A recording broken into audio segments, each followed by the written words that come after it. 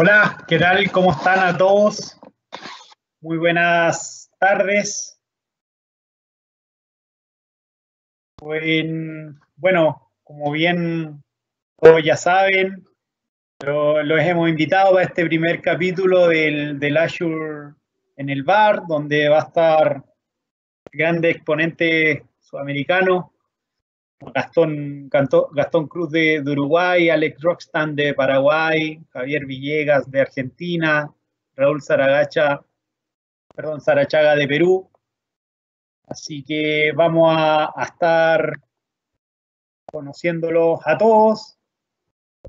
No sé. Eh, sería muy bueno que, mientras ustedes vayan, eh, esto también se trata un poco de que vamos interactuando en, este, en esta sesión, así que por ahí ustedes si pueden, si pueden escribir, dar, dar su nombre, de dónde son, etcétera, etcétera, y ahí entre medio los vamos a ir saludando y si tienen alguna duda o pregunta que quieran hacer con, con las diferentes, con los diferentes speakers que, están hablando e interactuando súper bien, ¿sí? Lo hacen y sin ningún problema.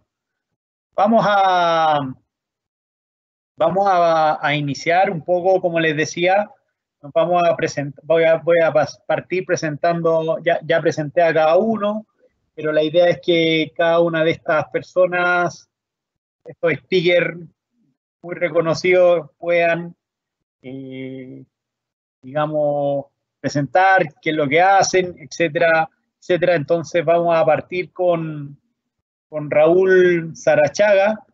él nos va, nos va a contar un poco lo que está haciendo. Antes de pasar con él, me están mandando saludos desde Argentina. Fran, ahí, buena, buenas tardes, Omar. También, gracias a ti por, por acceder. Así que, bueno, paso con, con Raúl para que lo puedan conocer. Ok, hola, hola, eh, ¿cómo están? Sí, sí se me escucha, Cristóbal. Perfecto, se, escucha, se escucha perfecto. Ya, chévere. Eh, nada, me presento, eh, mi nombre es Raúl. actualmente soy Data Architect en P Consulting, que es una empresa dedicada a BI, Analytics y Big Data. También soy MVP, como muchos de los chicos que están aquí también y nos están acompañando en, en el live. ¿sí? Eh, nada, ya tengo tiempito viendo estas cosas de, trabajar con los datos, ¿sí? Y pues de trabajar con Azure también desde pues, sus inicios, ¿sí? Así que nada, encantado de, poder estar con ustedes. Además soy Microsoft eh, Trainer, ¿sí? Así que si alguno por ahí de los chicos también está interesado tal vez en, en conocer un poquito más de estas certificaciones de Azure o de las nuevas tendencias como, como se están dando, pues ahí en el chat también lo pueden dar, ¿sí? Perfecto. Muchas, muchas gracias. Mira, mientras están mandando mm, saludos desde, desde Colombia, Jorge Saavedra, un gusto, Jorge. Eh, vamos a tratar de, ahí Omar nos dice gracias por la iniciativa, vamos a seguir. Continuamos ahora con, con Javier Villegas, el argentino. Hola. Javier, ¿cómo va? ¿Cómo va todo, muchachos? Bueno, un gusto poder estar acá en este evento en vivo que, bueno, intentamos hacer entre todos para ponerle un poco de onda a la situación esta de, la cuarentena y todo eso, cada uno en sus países guardado, ¿no? Eh, así que, bueno, un lindo momento para, charlar entre amigos y, bueno, eh, hablar un poco de, de lo que estamos haciendo haciendo.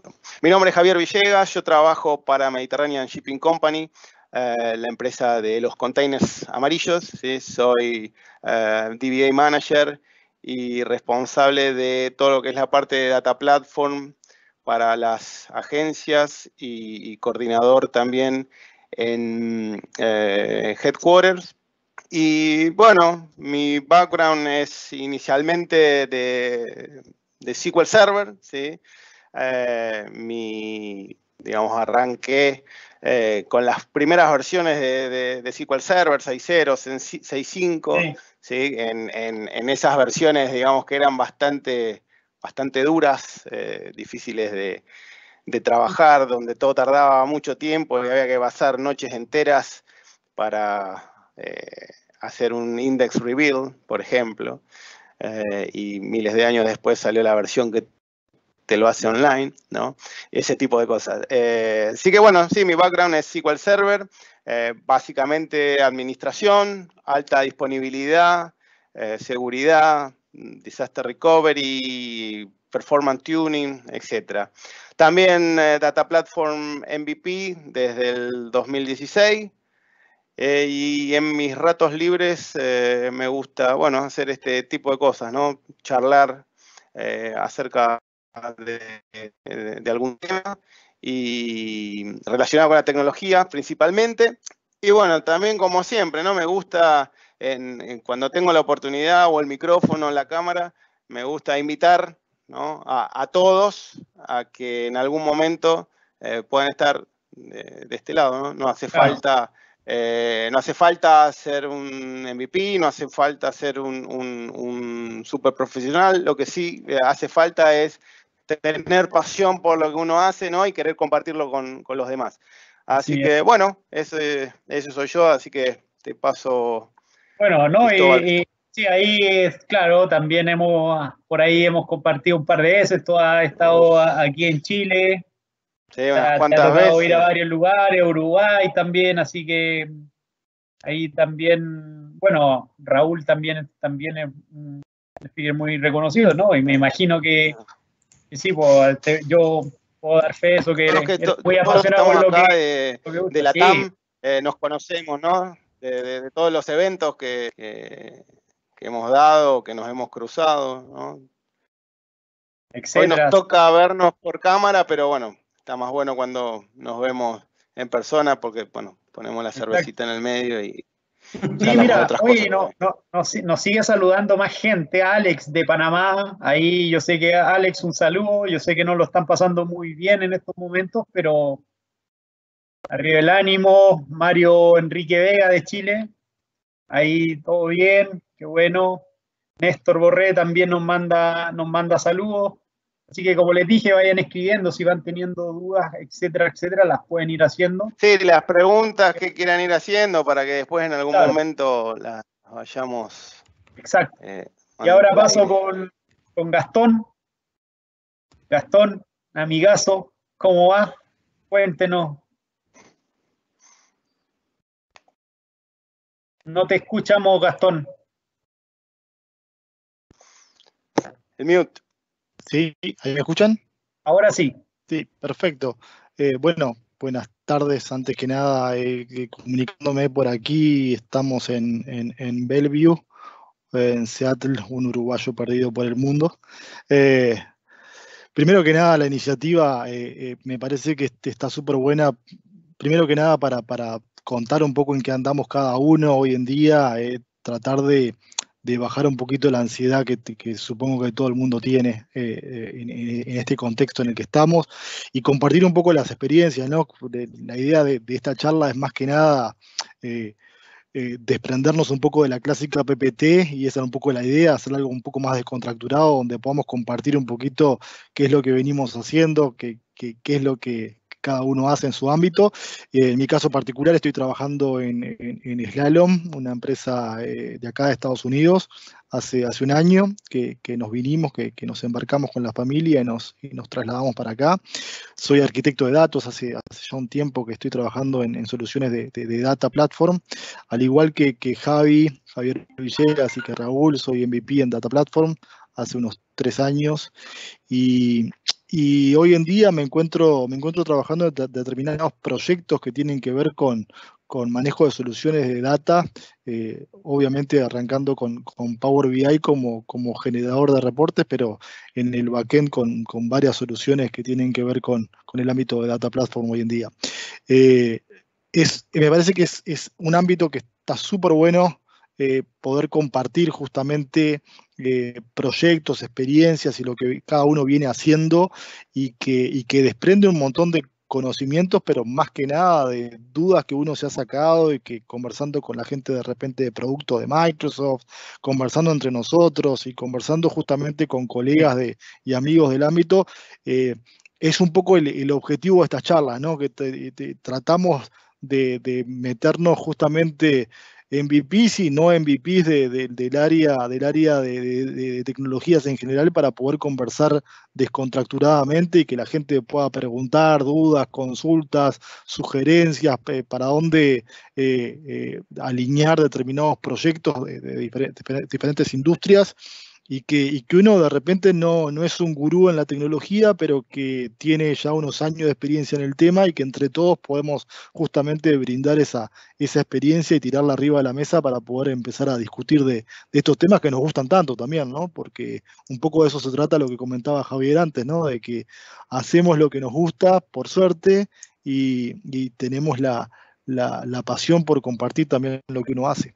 Así que mando un abrazo a, los cuatro que están por ahí, a Cristóbal, Alex, Javier y, Raúl, y que ojalá sean por muchas más sesiones que compartamos eh, eh, eh, de acá en adelante.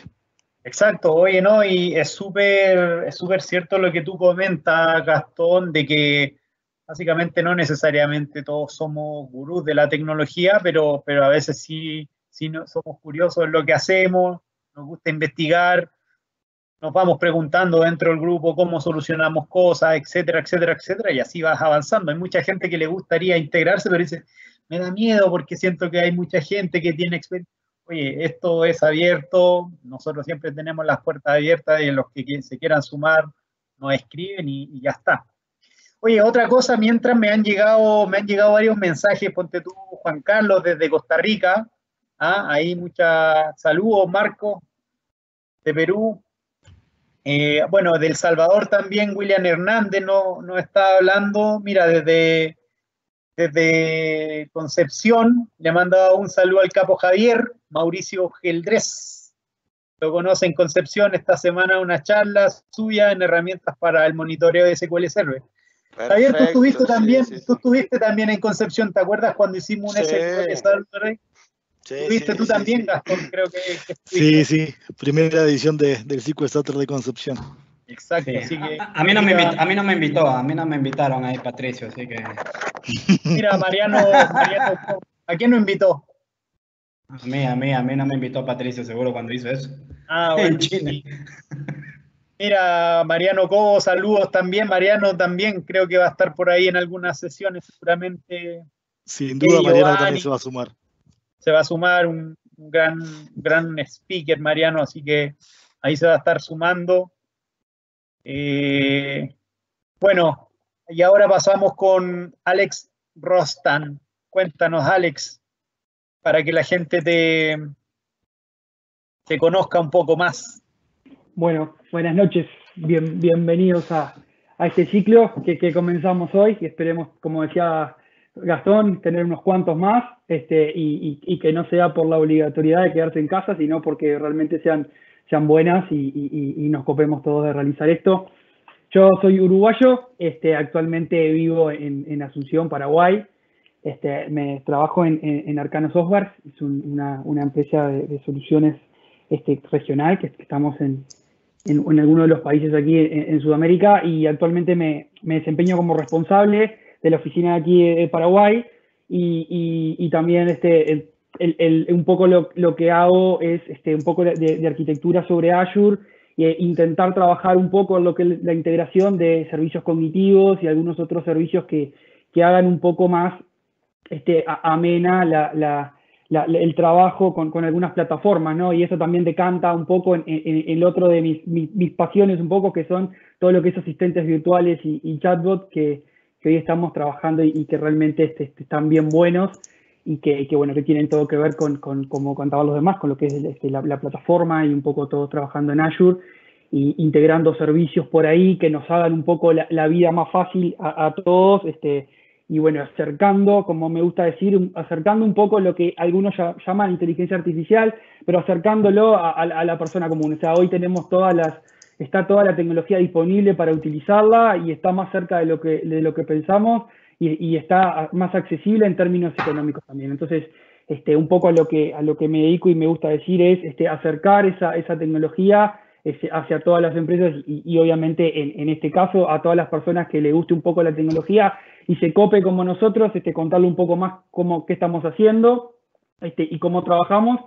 Y, bueno, ahora lo que, lo que, lo que les vamos a, compartir un poco más son experiencias un poco en, proyectos que, hemos estado trabajando de, cada uno y bueno, un poco cómo, cómo estamos utilizando de alguna manera es lo que es, lo que es Azure y, alguna parte de, su plataforma, integrando otras plataformas a, lo que es la nube. Este, ahí, Cristóbal, te, dejo la posta y, continuamos. Perfecto, muchas, muchas gracias. Eh, oye, em, a ver, nuevamente ahí hay gente que, está escribiendo, de a poco vamos a ir respondiendo las preguntas. Ahora un poco también como para ir, para ir, para ir conociendo, conociendo qué cosas, qué cosas en las que cada uno de ustedes ha trabajado, se ha desenvuelto más. A mí, a mí me parece lo siguiente, la, segunda pregunta relaciona esta, esta sesión y me gustaría saber de ustedes. Eh, yo voy ahora volver contigo, Raúl. Me, encantaría saber tú, ¿qué proyectos destacados ha, estado, ha estado trabajando en Achur? ¿sí? ¿Qué cosas ha hecho? Cuéntame un poco tu, experiencia. Ok, eh, nada, yo tengo ya bastantes proyectos eh, trabajados en lo que es esta arquitectura moderna que llama Microsoft donde mete estos servicios PaaS, como lo son Data Factory, eh, Data Lake, desde sus primeros inicios, que era el, los famosos Data Lake versión 1, Data Factory versión 1 también, que era eh, súper, eh, nada intuitivo, ¿sí? Que era súper, ahí se ríe Gastón, creo, porque conoce algo de eso, que era nada intuitivo, ¿sí? y poco a poco ha ido madurando, ¿sí? ya con, con, la versión 2 y demás, ¿sí? Eh, también con, con, el Data Warehouse, ¿sí? con el Azure Data Warehouse, que es esta solución de MPP de, de, Microsoft, ¿sí? que entra a pelear con otros competidores como lo son Oracle Exadata, Teradata, ¿sí? y pues al final con, con, una herramienta muy potente como lo es Azure Analysis Services también. ¿sí?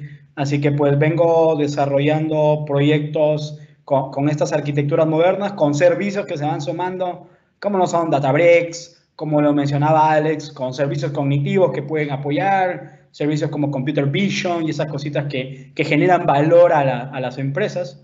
¿sí? Por ejemplo, hace ya un buen tiempo nosotros estamos trabajando con, con el equipo también aquí en Perú, en bastantes empresas en el sector minero para implementar este tipo de soluciones que, imagínate, en el sector minero las minas guardan un montón de información, ¿sí?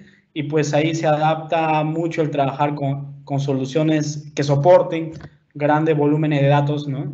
Y pues donde no hay la necesidad de instalar un servidor eh, físico, ¿sí? Para dar respuesta a, esos escenarios, ¿no? Así que pues nada, eh, vengo trabajando en ese, en ese tipo de proyectos. Perfecto. Oye, que, bueno, igual es interesante tú lo que, lo que estás comentando, ¿sí? Si bien es cierto, es, real, o sea, ustedes también tienen un sector en, minería donde, donde trabajan y, ha ido creciendo mucho este último, este último tiempo, ¿cierto? Eh, y, si yo, yo te, yo te, te, pregunto, te, pregunto actualmente qué, qué cosas de, de Azure, si, si, si, alguien quisiera partir un proyecto de los que tú realizas de, de datos, por ahí, ¿qué, es lo que más a ti te, sientes que te da un, mejor valor? Eh, mira, dentro de los servicios que hay en Azure, ¿sí? Eh, uno de los servicios que ha ido madurando y que a mí me encanta porque yo vengo de la vieja escuela de trabajar con, una herramienta potente de Microsoft como lo era Integration Services, ¿sí? Eh, a mí me encanta trabajar con, con Data Factory, ¿sí? Y con el tema de, de Databricks también, que se pueden hacer bastantes cosas, y seguro alguno de los chicos también hablará sobre un poco de eso. Y pues, eh, y, y, también en su momento le, le, agarré mucho el tema de trabajar con Azure Data Warehouse, ¿sí? Porque pues hace trabajos, siempre y cuando lo trates con cariño a cada una de las herramientas, ¿no? Yo siempre digo a los chicos que Microsoft a veces, a veces siempre no dan duro porque dicen es súper fácil instalarlo a comparación de otras herramientas, pero a veces si uno instala con Next, Next, Next, y seguro ahí Javier eh, renegará cuando muchas personas hacen una instalación de SQL Server con Next, Next, Next. Funciona así, pero cuando se, se quiere ser escalable y de alto rendimiento, pues todos sufren, ¿no? Entonces me, metí a fondo en, en una de esos, eh, eh, en esos servicios y pues nada, eso genera valor. Me, encanta mucho Data Factory y, tal vez ahí termine, le doy pase a, los demás chicos, porque te permite automatizar tareas. Es un disparador de tareas, o sea, puedo mandar a, a apagar desde ahí algún servicio, puedo ejecutar cosas, entonces me, gusta mucho el, trabajar con, con, Azure Data Factory. Qué bueno, gracias por, por tu aporte, Raúl. Vamos a dar el paso ahora a, a Javier. Como bien, Javier, bueno, ya, ya, ya, escuchaste un poco, cuentan un poco de, de, los proyectos destacados en Azure con los que, con los que tú has trabajado. Eh, yo me imagino ya hombre de mil, de mil batallas. Claro, sí. Cuéntame un poco de... Sí, bueno, como decía un poco al principio, ¿no? Yo vengo de, trabajar con SQL Server con versiones eh, de las primeras versiones donde todo era bastante a pico y pala.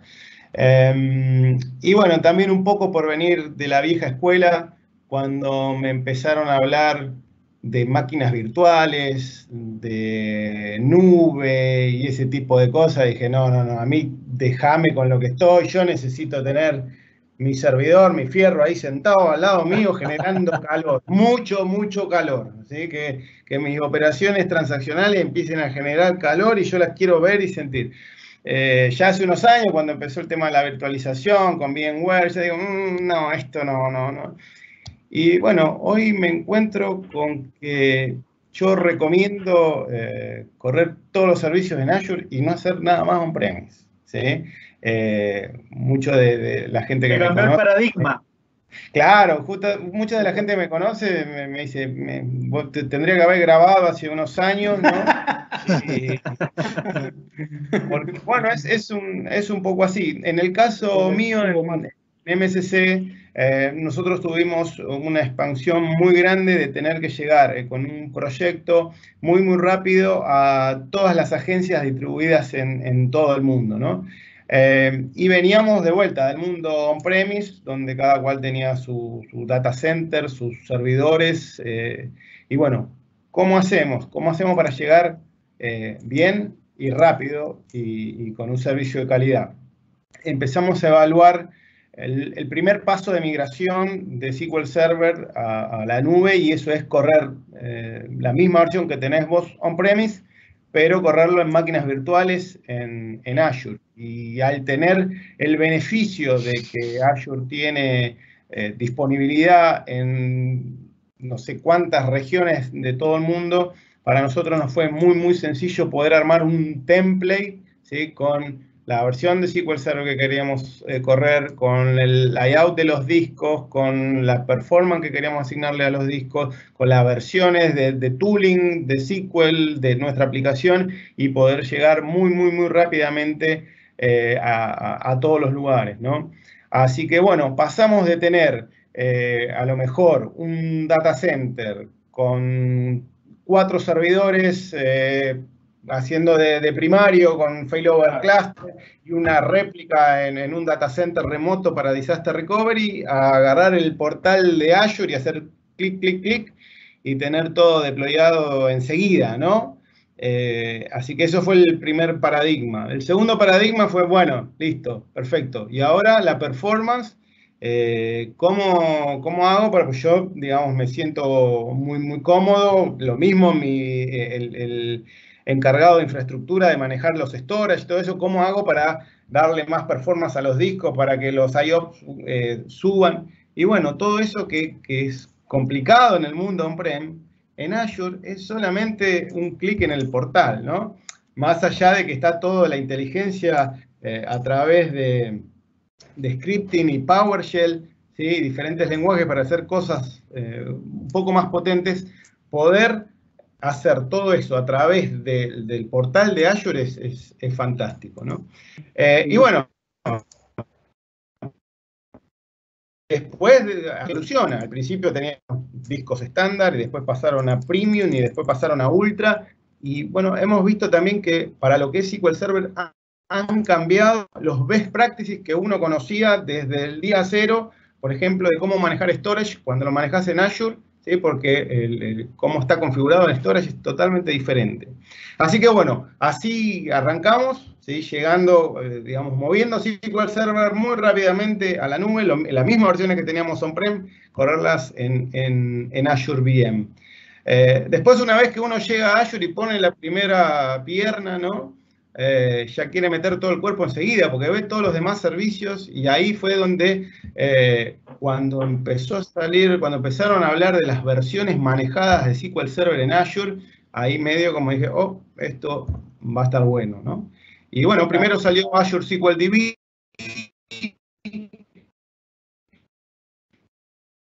Bueno, tuve, eh, yo me acuerdo, hacía como modo de, broma, siempre dije que las primeras versiones de Azure SQL DB era Access en la nube, ¿sí? Eh, me costaba muchísimo hacer eh, aplicaciones, la verdad que era complicado. Hoy, después de ya casi cinco años, es un producto súper maduro, con hyperscale, con, con digamos, nada que ver. Pero en el medio del camino, hace un año y pico, salió Manage Instance, ¿no? Poder tener un SQL Server manejado en la nube donde vos lo único que accedes es al endpoint SQL Server y después haces el deployment de tu base de datos y no te tenés que preocupar del backup, no te tenés que preocupar del alta disponibilidad, ¿sí? O sea que esos, esos servicios de SQL Server manejados, eh, la verdad que, que, son espectaculares. Nosotros de a poco estamos tratando de llevar algunas cosas porque imagínense, tenemos no sé cuántas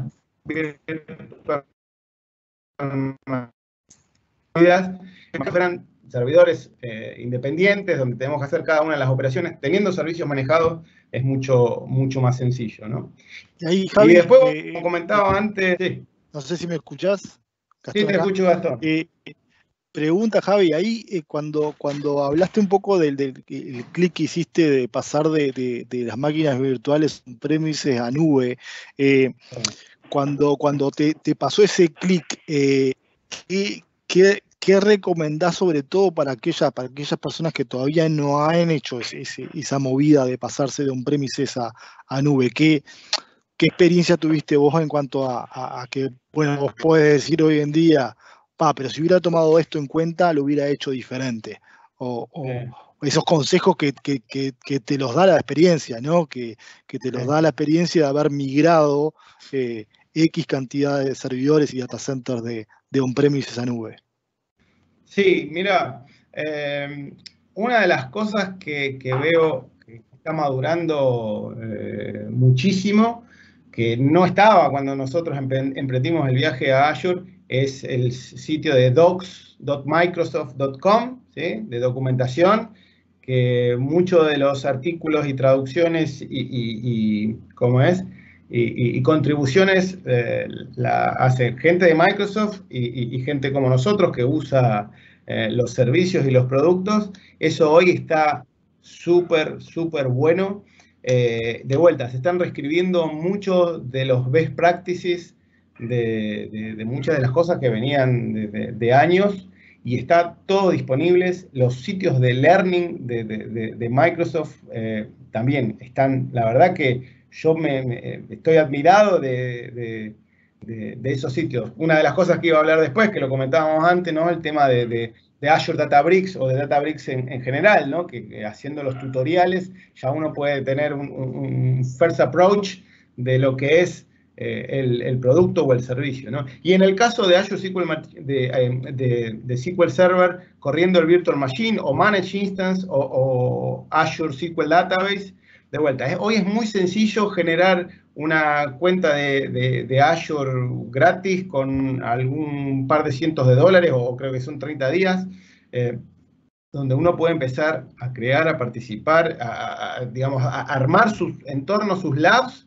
¿sí? Y con herramientas que están desde siempre en el mercado, que pueden hacer pruebas de estrés, eh, probar nuestro workload. ¿sí? Nosotros, obviamente, lo que hicimos en un primer momento, eh, hace ya dos, tres años, fue hacer una prueba de concepto. Ok, de vuelta, yo sé cómo funciona mi aplicación, mm, mm, todo en mi base de datos on-premise. Bueno, vamos a ver en, en, Azure cómo responde, ¿sí? Obviamente, más allá de lo que es la aplicación en sí, poder ver los contadores de, performance de los discos eh, y, todo ese tipo de cosas, como ver, eh, poder hacer una comparación y poder comparar, digamos, un baseline de uno contra el otro. De vuelta, en este camino que ya estamos hace un par de años, eh, a pasos agigantados.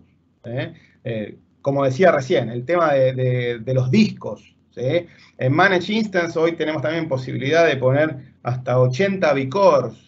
Eh, digamos, es, la verdad que mes a mes, eh, Microsoft, yo veo mucho lo que es la parte de Data Platform, pero también me gusta ver un poco los demás servicios que presentan en Azure, ¿no? Pero veo y digo, todos los días sacan, o todas las semanas sacan cinco cosas nuevas. Eh, ¿no? Y ahí, ahí, y ahí, Javi, una, una pregunta que seguramente la, gente se hace ahora y, está súper bueno esta conversa y justamente la finalidad de esto es eh, para dónde arranca el que quiere aprender, ¿no? El que quiere, el que quiere desarrollarse un poco profesionalmente en esta área, porque, porque si vos me decís Power BI, eh, bueno, yo ya los tiro a, donde ya sé que es la comunidad y que pongan en cualquier buscador Power BI comunidad y hay comunidades muy grandes, la más grande obviamente es a nivel mundial, que entran ahí y es un, sinnúmero de, de, links de aprendizaje y de e-learning que pueden ir y, tirarse a,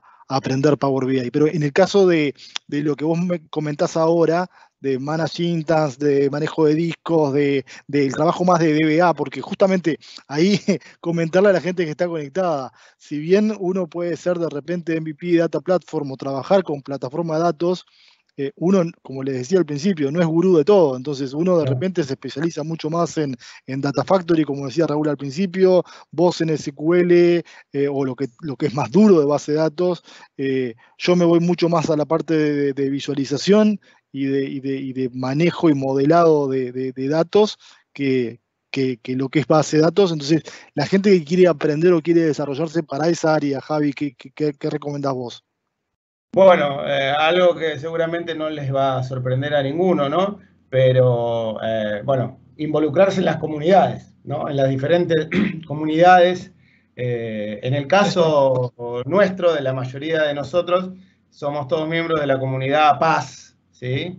donde, bueno, es la comunidad más grande del mundo de mm, eh, profesionales de Data Platform, inicialmente de, SQL Server, ahora de, Data Platform. Involucrarse en la comunidad. En, paz, cualquiera que no esté, que esté conectado y que no conozca lo que es paz, apenas termina el, webcast, paz.org, te generan una cuenta y van a tener training gratuito, eh, sentados en el sillón de su casa, todo el día, todos los días, con eventos eh, y, charlas grabadas y eventos online a diario, ¿no? Muchos de nosotros eh, hablamos en, algunas de ellas.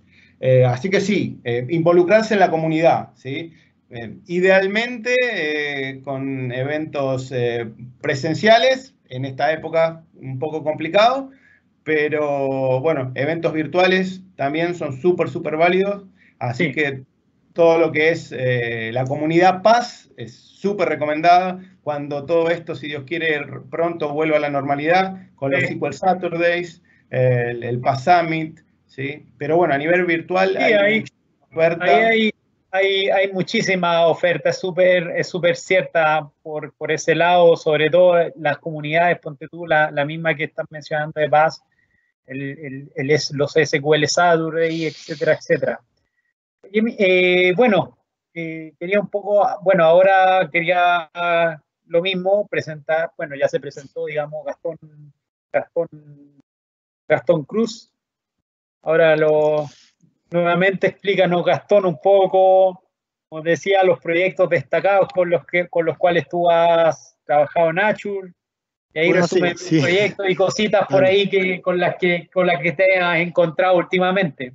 Dale, ahí, ahí yo vengo trabajando hace mucho tiempo desde, desde hace mucho tiempo antes que se llamara, se pasara a llamar Power BI la herramienta y, la incursión de Microsoft al, mundo de, análisis de datos que ya tiene mucho tiempo atrás, ¿no? Pero, pero desde que, desde que se impulsó como, como salida a producción la, herramienta Power BI, vengo trabajando muchísimo en, proyectos de Power BI y que, y que en el trasfondo eh, toca muchas tecnologías, ¿no? Que, que, si bien uno de repente como, como el otro día eh, Cristóbal eh, eh, se, lanzó al, Dashboard in a Day online, que estuvo súper bueno y que es la forma de arrancar, ¿no? Es la forma de comenzar para todos en este, en este tema de, de poder salir al mundo de, por ejemplo, aprendizaje en Power BI, eh, es la mejor forma de comenzar. ¿no? Si uno busca Dashboard in a Day en, cualquier buscador, van a ver de que existe una, y hoy en día, justamente con el tema de, que estamos todos trabajando de casa, eh, pueden encontrar muchos cursos online para poder seguir, eh, tanto en español como en otros idiomas, el, tema Dashboard in a Day y poder introducirse al tema Power BI. A mí particularmente me gusta hoy en día destacar un, proyecto en el que me encuentro trabajando en estos momentos, que tiene que ver con integrar justamente Power BI a nivel enterprise para el análisis de información y de datos en una solución de, plataforma de datos que, toca muchas, muchas variantes. Y, ese backend que hoy en día y que algunos que trabajan con Power BI lo sabrán, eh, y que me parece que a, mí es una de las cosas que más me llama, el tema de, por qué me, fui para, este lado, poco primero para entender el tema de la problemática de negocios en un contexto eh, de, industria y a nivel enterprise y un contexto bastante complicado como es el de hoy en día, ayudar también a la toma de decisiones, lo más rápido y lo más y lo más pronto posible y de la, forma más, más conveniente. El backend de esta solución que estoy trabajando ahora está desarrollada para optimizar el tema de, la visualización de datos con Azure Analysis Services como backend, como, como solución de, modelo semántico. De alguna forma, esto le, brinda a Power BI una, una, rapidez y una agilidad para ver los datos eh, súper buena que eh, eh, de alguna manera impacta directo el tema del usuario final, ¿no? Porque el usuario final va haciendo clic, clic, clic en, diferentes eh, slicers para filtrar la información, para poder eh, ver los datos que realmente necesita y no tiene ese tiempo de espera que a veces uno lo tiene cuando trabaja con millones de datos.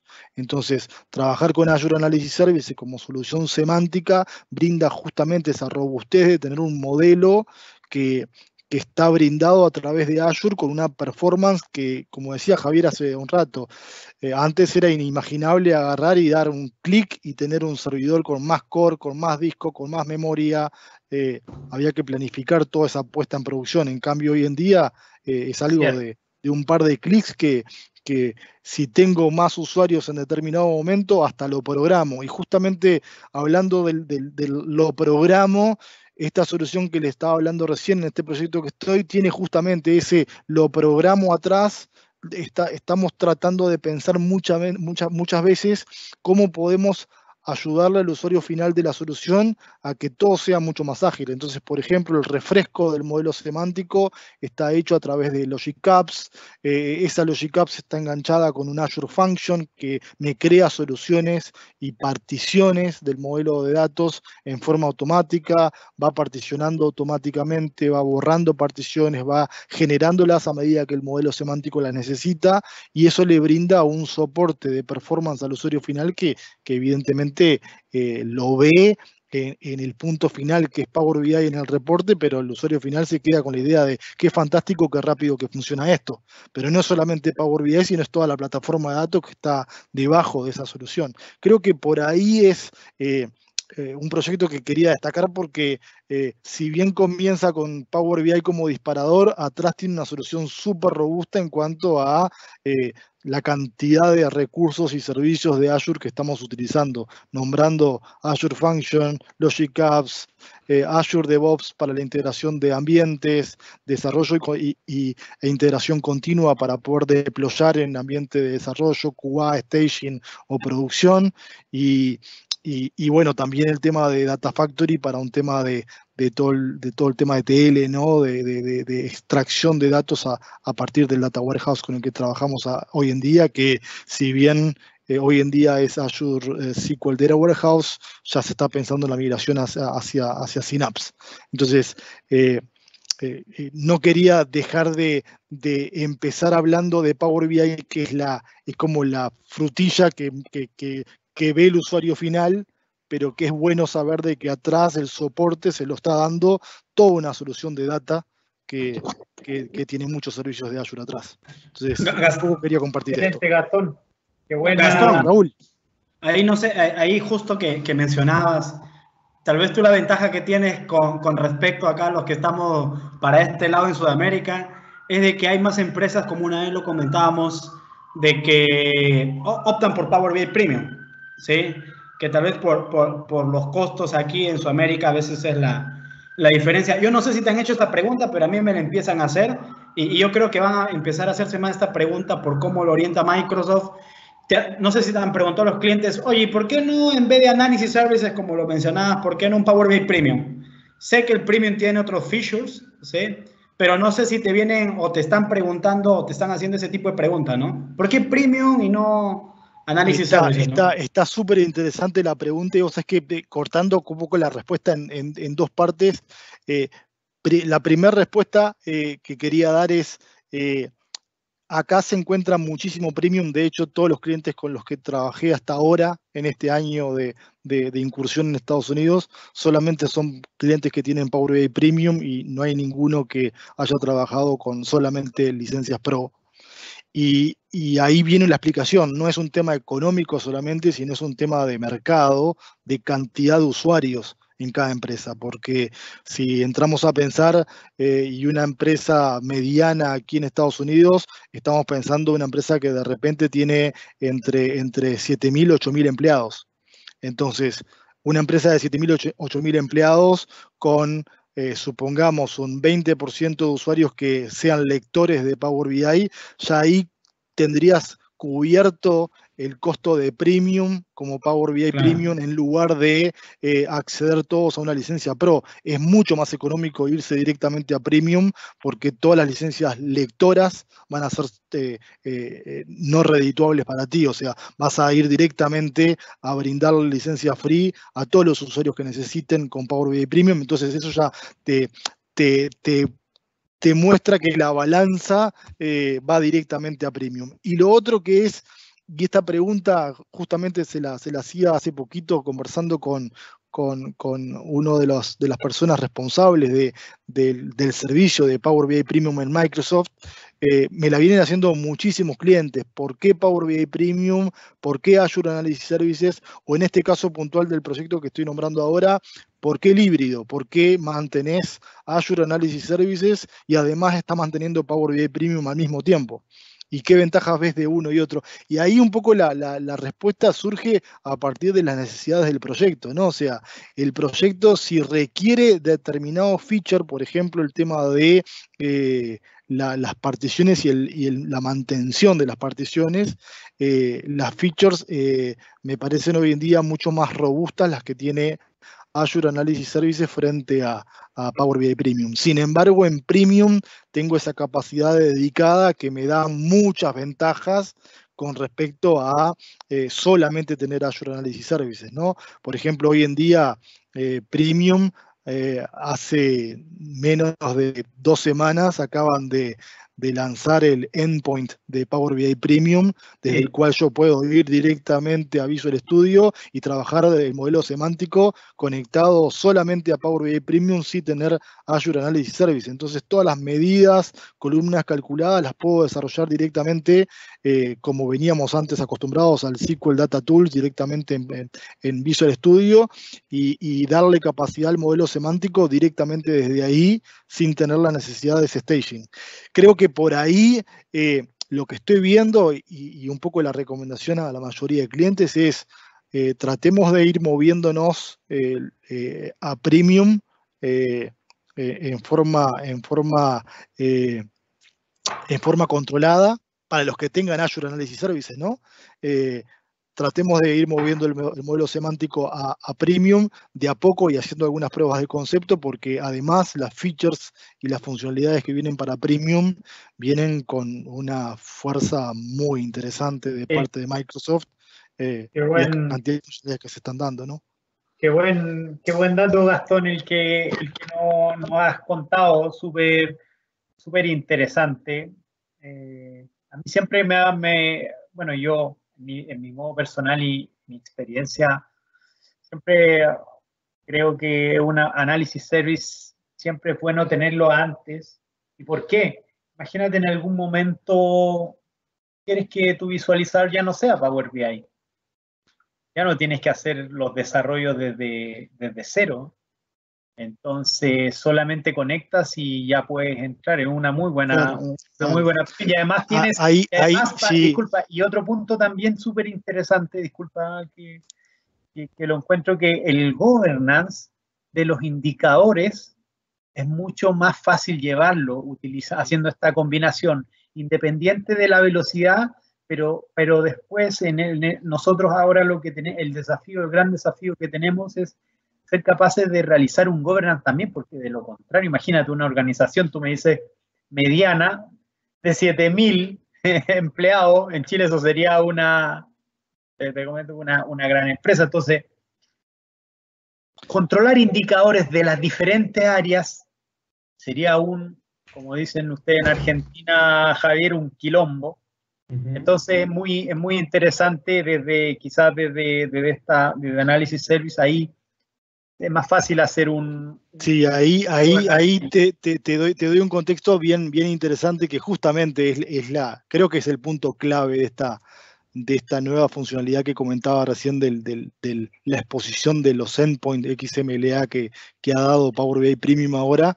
Creo que es por ahí que viene el, el, el gran tema eh, y el gran diferenciador que le ponen ahora a Power BI Premium, que es justamente si tú tienes el modelo de datos en Power BI Premium, puedes ir directamente a un SQL Management Studio y abrir el endpoint desde ahí, así como lo podrías abrir desde cualquier otra herramienta de visualización de datos. ¿ah? Entonces tu modelo semántico pasa a estar en, en Power BI Premium, pero de repente tu capa de visualización no es Power BI, es otra es, es clic, es tabló, es. No, no digas eso, vamos a decir tabló. Ah, eh, eh, ¿Eso no es rascarse la oreja derecha con la mano izquierda? Eh, vos, sabés que, vos, sabés que, vos, sabés que, no, Javi, porque Te, te, explico por qué. Acá, y eso también lo encontré bastante, bastante extraño, ¿no? Hay empresas que, como decía recién Cristóbal, medianas de 7.000, 8.000 empleados, que depende del área en la que trabajes, eh, tienen una herramienta u otra. Entonces tienen de repente 4.000 licencias de Power BI Pro y tienen 4.000 licencias de, Tableau. Eh, porque dependiendo de qué, de qué rama trabajes, de repente hay un modelo que es el mismo modelo y la ventaja ahora la vas a tener con que el modelo es el mismo. Antes tenías dos, tres modelos, como decía Cristóbal, y los KPI de cada modelo lo desarrollaba un área diferente y quizá con resultados diferentes. Entonces, de esta manera el governance se vuelve en que tendrías un solo modelo semántico en Power BI Premium y lo van a consumir determinadas herramientas diferentes según el área que quiera explotar. Eh, sin irnos a, otras marcas, podrías decir, bueno, yo necesito que el área financiera trabaje con los, los, eh, reportes paginados, lo que era antes SQL Reporting Services, que ahora pasó a llamarse eh, Power BI Paginated Reports, esto es exactamente lo mismo, pero podrías tener el mismo modelo semántico brindado o expuesto para, para las dos capas para la gente que esté visualizando en Power BI regularmente y para la gente que esté eh, consumiendo desde, desde los reportes paginados. Entonces, de esa manera, lo que, lo que podemos llegar a, empezar a ver, claro, lo que podemos empezar a ver ahora es que eh, la preocupación viene mucho más, como decía Cristóbal hace un rato, de dar, eh, darle más fuerza al modelo semántico y el modelo semántico es el que eh, va a responder a todas las capas de visualización a nivel organizacional. independientemente de cuáles sean tus fuentes de datos. Tus fuentes de datos pueden llegar a ser SQL Server, eh, Data Warehouse o combinado con otro tipo de Data Warehouse de terceros.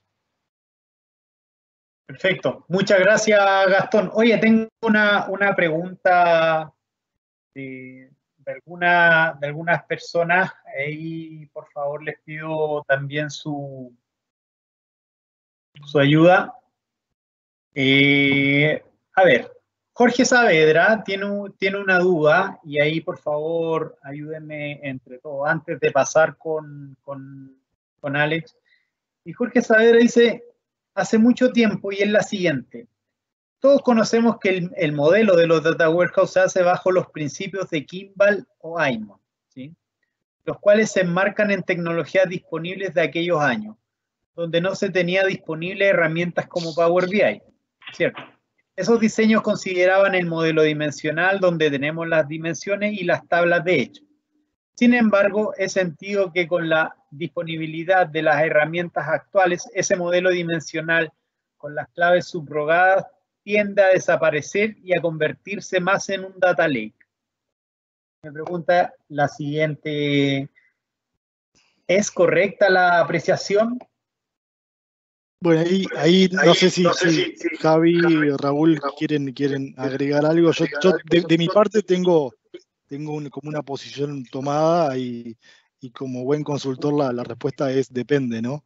Eh, depende el contexto, ¿no? Depende el contexto y la solución que estamos pensando brindar, ¿no? Porque el modelo relacional empieza a tomar importancia si realmente necesitamos justamente establecer este tema de, de una, de una entidad transaccional rodeada por diferentes dimensiones y necesitamos justamente relacionar de alguna manera o, vincular eh, e, esos datos para brindarle al usuario final una, una herramienta. En muchos casos, eh, en muchos casos se puede trabajar directamente desde un data lake o se puede trabajar directamente desde, desde un modelo no relacional. Ah, eso va a depender un poco del contexto y la solución que, querramos brindar.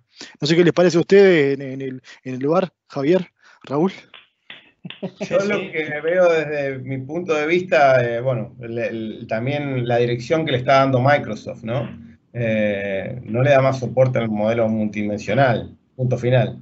Eh, o sea que sí, es momento de empezar a pensar en otras opciones. Eh, no estoy desde, no soy consultor, pero también está el, depende, es la, la primer, la primer eh, respuesta que tenemos, pero en mi caso, en, en, MSC, bueno, hemos movido todos los que son modelos multidimensionales, ya los deprecamos hasta hace el año pasado, ya eh, han terminado, y sí, con una combinación de moverlos a modelos tabulares y Power BI Premium es a donde estamos llevando todo, ¿no? Pero sí, ya no se hace más un deployment de, de algo multidimensional, ya lo llamamos legacy, ¿no? Como decía bien la pregunta. Sí, yo, yo ahí, eh, hace poco, por ejemplo, eh, Databricks sacó una arquitectura o un nuevo eh, paradigma donde pues hablaba sobre BI o los data warehouse, apareció este término de data lake y ellos proponían este nuevo término que eran los lake house, ¿sí? Que eran estas nuevas mezclas, ¿sí? Igual yo siempre eh, peleo ahí con, con, a veces los clientes o a veces eh, personas ahí, eh, como si fuesen un barco como esto, que, que lo bonito ahí, que cada uno tenga su propio punto de vista, es de que por más Big Data o por más Data Lake que Microsoft le, le acuñó el el término data lake a un servicio eh, que, que data lake lo podemos entender como, una, como un concepto, ¿sí? Eh, pero más de, trabajar con, con, cualquier servicio de Hadoop y todas estas cosas, al final como lo explota el, el usuario es a nivel eh, dimensiones, ¿no? Quiere ver clientes, quiere ver las ventas y tata, clic, clic, clic y demás, ¿no? Eh, más o menos con, con, el tema de las preguntas, es, si bien es cierto, podríamos obviar el tener eh, primary keys, foreign keys, porque al final es, es un concepto lógico, ¿sí? Si mantenemos la integridad referencial con el ETL, pues no hay necesidad de, hacer eso, ¿sí?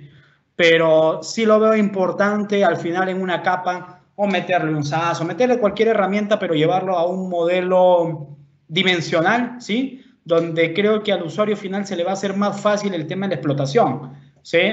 Y llevarlo a una base de datos, a un SAS o algo, y no dejarlo, si bien es cierto, lo podemos almacenar como archivos, ¿sí? Pero tal vez eh, tenerlo en una base de datos pueda mejorar el, tema de la respuesta también ahí, ¿no? Pero igual, estamos ahí al, tema de, de discutirlo también, ¿no? ¿Sabes qué? ¿Sabes qué? Una, una cosa que, que, ahí un poco te ha entrado en discusión acá y ahora recuerdo algún otro proyecto que, que, que si bien es un, algún proyecto eh, interno de Microsoft, he estado ayudando un poquito a la gente que está, que está desarrollándolo.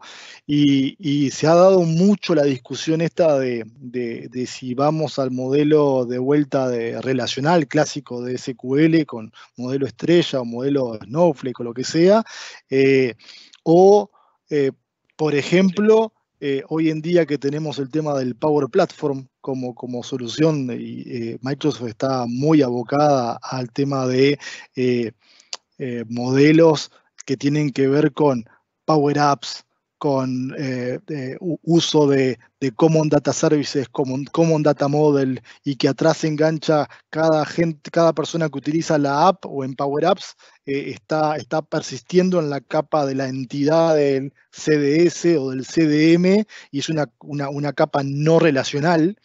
Y, la pregunta que viene inmediatamente después es, bueno, si, si, estoy utilizando el Power Apps a nivel enterprise, eh, y atrás te, le, dije que me grabe en un data lake. ¿Cómo hago para después en un Power BI o, en, algún eh, visualizador de información, cómo hago para empezar a captar esa información, a, captar la, salida de, esos datos? Y ahí comparto 100% con lo que decía Raúl. Si lo tengo en un data lake, eh, voy a poder eh, generar reportes, pero me va a costar bastante más. Eh, modelar los datos para poder mostrarlos. En cambio, si a mí me dijeran que esos datos eh, fueron fluyendo desde Power Apps a un data lake, pero después se fueron enganchando en un flujo que de alguna forma me eh, relacionó eso con un, un SQL Server como servicio, va a ser mucho más fácil explotar la información desde Power BI. Entonces, creo que por ahí, y ahí nombramos un montón de tecnologías por atrás, pero, pero para la gente que está metido en el tema de, Power Apps y Power Platform, eh, también se abre un mundo de eh, no saber o, de alguna manera tratar de decidir si mantiene los datos en el data lake o los mueve hacia un modelo más relacional. Creo que ahí es una pregunta que se está dando cada vez más fuerte porque evidentemente es una plataforma que cada vez se está moviendo con más fuerza y, y cada vez está insistiendo más a los desarrolladores eh, de, la, de, la, vieja época a empezar a meterse en Power Apps para poder desarrollar eh, soluciones por ahí. No me quiero olvidar de mandarle un saludo a Jesús Gil, que si no le mando saludos en este momento, eh, me, va a, ah, dejar de saludar como amigo. Lo eh, mismo para el amigo hay muchos, hay, muchos amigos ahí de la, la, comunidad sudamericana de, de, de, MVPs que están, que están pasándonos muy buen feedback y, y agradecemos la presencia ahí del backend. Les quería comentar un poco eso que, por ahí voy a publicar ahora. Jesús también va a estar en VD, también va a estar aquí presente, seguramente el próximo juego más. Ahí tenemos, pero él ahí está publicando, voy a publicarla ahora, el Modern, Data Warehouse, la arquitectura moderna de, un data warehouse y también el, el, el almacenamiento de datos lo plantea hoy Microsoft, así que también ahí lo, lo acabo de, publicar.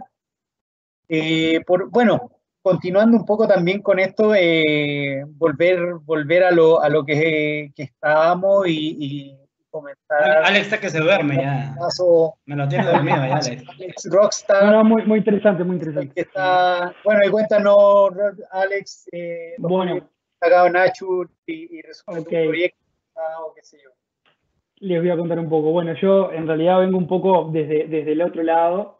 Eh, yo arranqué en, todo esto por allá este, cuando se utilizaba SharePoint y, Workflow Foundation para, para, automatismo de procesos y, lograr un poco más desde el otro lado. Este, y, bueno, y también un, poco de visto que en algún momento llegué a, trabajar con el amigo Gastón, en algún momento rompiéndonos la cabeza con, con ese amigo Visto y bueno, este, y entonces siempre, siempre me quedó la, el, gusto y la, fascinación por, por, automatizar y, poder lograr esa, esa, ese, automatismo este, de alguna forma este, que, realmente tenga un valor en, lo que uno está haciendo y que no sea un, simple flujo. Entonces, un poco por ahí que después me metí en todo lo que tiene que ver un poco más con inteligencia artificial o, modelos de, este, de procesamiento de imágenes, este, y que después me, me, decantaron obviamente en todo lo que tiene que ver con los Cognitive Service y, toda la, plataforma que está en Azure. Entonces, un, proyecto bien interesante que surgió este, y, y, que si bien técnicamente no, no, no es súper, súper desafiante, sino que con lo que, quiero, lo que quiero mostrar con esto un poco lo que les contaba, y es cómo con, con, la, con la tecnología disponible y, sin demasiada, sin demasiada este, inversión y sin tener que pensar en gastar eh, millones, uno puede tener una, una, una, buena, una buena solución. Entonces, e, e, en este caso fue este, conversando con, con, con, una gente de una, de una minera, este, lo, que, lo que resultó ahí era que ellos necesitaban identificar una, cierta, una cierta variación que tenía de, de, turbiedad eh, o espuma, le podemos llamar, que había en un agua, en agua, en un efluente, entonces, este, eh, eso, eso obviamente que se, se, resolvía con dos personas mirando, mirando el efluente las 24 horas, este, y como todos sabemos es bastante complejo poder garantizar de que efectivamente se está visualizando y que se está este, interpretando de manera correcta lo que yo estoy viendo. Entonces, en ese momento lo que decidimos fue rápidamente, este, utilizando este, Custom Vision como, como, como base, entrenar un modelo de clasificación que pudiera identificar este, cuando efectivamente eh, el agua este, estaba, este, de alguna forma, no estaba filtrada correctamente y cuando no. Entonces ahí lo que se hizo fue, se entrenó un modelo en, Custom Vision para poder identificar eso. Luego se montaron este, eh, aplicaciones, un par de, de, Azure, Functions que, lo que hacían era eh, efecto de, timer, una de ellas, que lo que hacían era este, conectarse con, una cámara, que el desafío principal era que estábamos a 5.000 metros de altura, pero que de alguna manera logramos tener esa conexión suficiente para poder transferir 10 frames hacia, hacia la nube cada, cada, cada un X tiempo. Entonces procesábamos este, de alguna manera esos frames, identificábamos si, si de alguna manera se tenía este, ese filtrado incorrecto y por intermedio de, otro proceso con, con, con, con, una API, con un API, lo que se hacía de alguna manera era este, avisar a los operarios de mina de que no se estaba este, realizando el filtrado correctamente. Entonces, acá la, conclusión de esto es, los que más o menos tienen idea de las tecnologías que le nombré, ninguna tiene una complejidad alta, este, más allá de que obviamente uno tiene que, poder este, configurar y, poder utilizar bien, pero de alguna manera es con, algunos componentes que de alguna manera ya están y ya están disponibles y uno este, puede este, generar unos trainings y empezar a utilizarlo, como es el caso de Custom Vision. No necesita ser un data science experto para utilizar Custom Vision y, hacer modelos de, clasificación o de identificación, de identificación. Yo no soy un data science. Yo vengo, como les contaba entrada, vengo de otro palo y que de alguna manera me interesó y me empecé a interesar en ese mundo.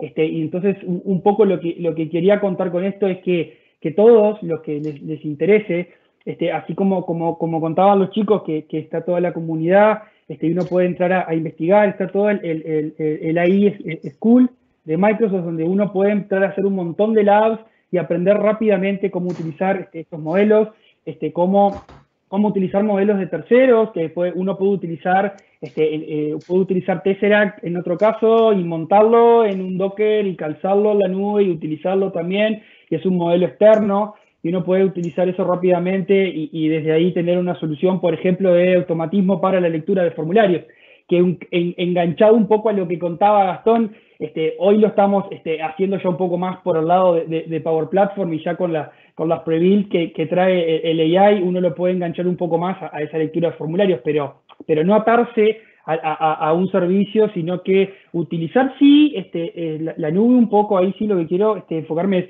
poder utilizar la nube como, como ese motor que, haga que, todo funcione bien, que tú no tenga performance, que pueda hiperescalar, pero, pero no atarme solamente a, un modelo o a una tecnología, sino que utilizarlo correctamente. Entonces, por ahí un poco este, venía lo que les quería contar Este, y, bueno, este, ahí este, creo que está, está, interesante poder meterse un poco en ese mundo y, que no, es, no, no, hay ningún cuco ahí, como decimos acá, este, poniendo un poco de, de, ganas, se pueden hacer cosas bien interesantes este, sin, sin, sin, demasiado, sin demasiada locura.